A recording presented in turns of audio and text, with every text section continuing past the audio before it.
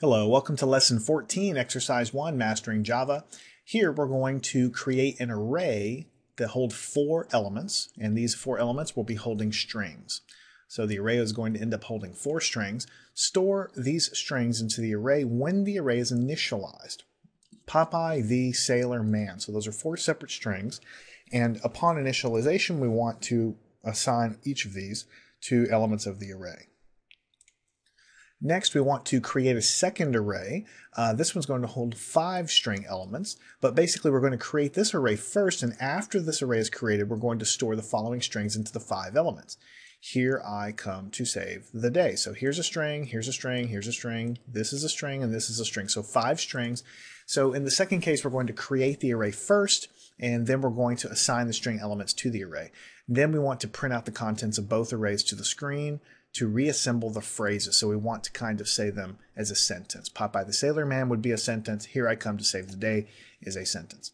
So uh, the first one is this one here. We're creating an array um, of string objects. So basically the type of uh, what the array is going to hold is out in front. So that's why it says string. Uh, here's the name of the array. We call it array one. The double brackets indicate it's a one-dimensional array. And we don't really specify the length of the array here because in this case we're actually providing the contents and Java's smart enough to know that we have four elements of the array and so this is an array of length 4. So inside of the curly braces, much as we've done in the past when we've created arrays to hold integers, you can just populate with commas in between the elements of the array. It's just that when we're storing strings, we need to put the quotations around there as well. All right, so this is the first array. The second array is called array2. It also holds string objects. But on the right-hand side, instead of specifying what's going in there, we just create a new object of type string that's going to hold five elements. So in this case, we're reserving the memory for five elements for strings to go into this array, but we're not actually telling Java yet what's going to go into there. And that's what we've asked for in our problem. Now, these statements here actually store the phrases, the strings, into the different elements of array number two. Notice that we always start counting uh, with element zero of arrays and uh, also of strings as well. So the first string goes into with index zero, the next string goes with index one, and so on. Zero, one, two, three, four ends up being five different elements in array two, which is exactly what we created, five elements in that array. So we put these strings into there, and the next thing we want to do is print them to the screen. So for the first print statement, we're literally going to go into the print line statement. We're going to say array number one, element zero, and then we're going to put a space, and then array one, element one. Then we're going to put a space, element two, space, element three, and then we have the same thing underneath it. Array number two, element 0, 1, 2, 3. Now this one has more elements because the second array has 5 elements, the first array has 4.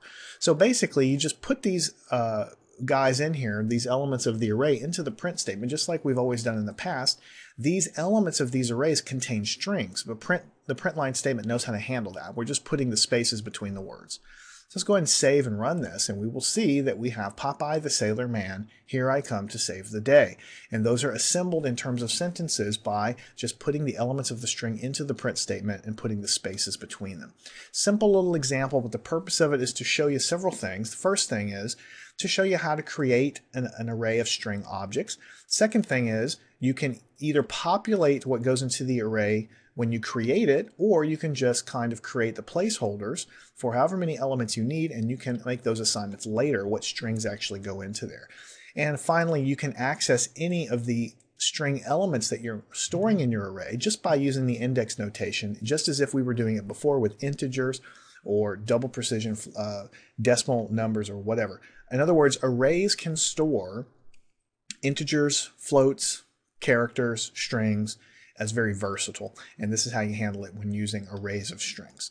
So make sure you understand this and um, uh, follow me on to the next lesson where we will continue working with uh, strings and with arrays in Java.